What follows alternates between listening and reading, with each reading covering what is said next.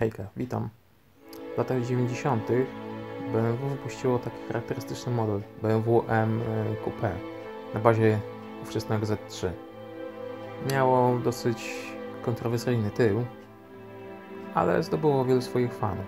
Niestety obecny model nie posiada ani wersji Coupe, ani nawet prawdziwej wersji M, więc postanowiłem zrobić to po swojemu. Jak widzicie, dodałem charakterystyczny przedni zderzak w stylu M, e, pionowe ożebrowanie w nerkach. Dalej widać e, poszerzone nadkola, większe koła, obniżone progi i parę innych detali w stylu M, tak jak e, wyloty na błotniku czy lusterka.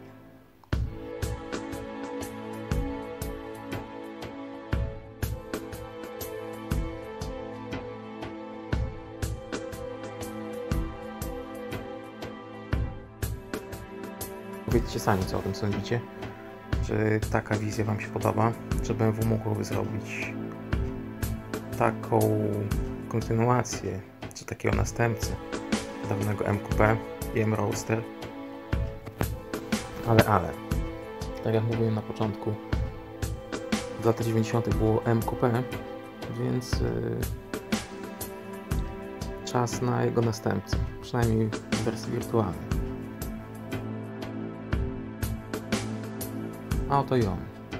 Trzydrzwiowe MQP. Chciałem zachować e, styl z tamtych lat, czyli trzydrzwiowy hatchback, tudzież nawet wręcz e, kombi, tak? Mm, co było dosyć typowe dla tamtego modelu. I niepowtórzone już nigdy więcej.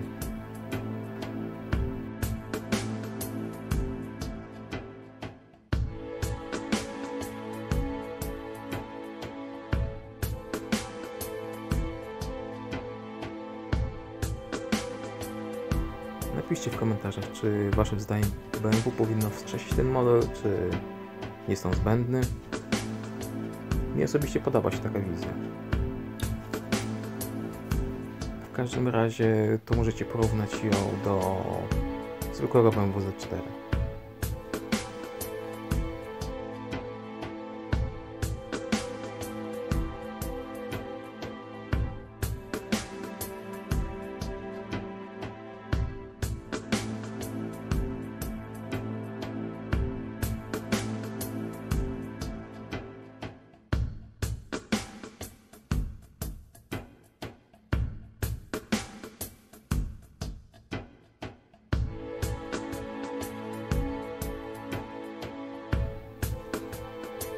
W zasadzie to było na tyle.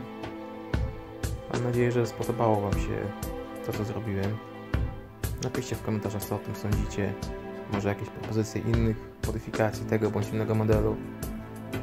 Zostawcie łapkę w górę, zasubskrybujcie i ewentualnie udostępnijcie. Dzięki. Hejka.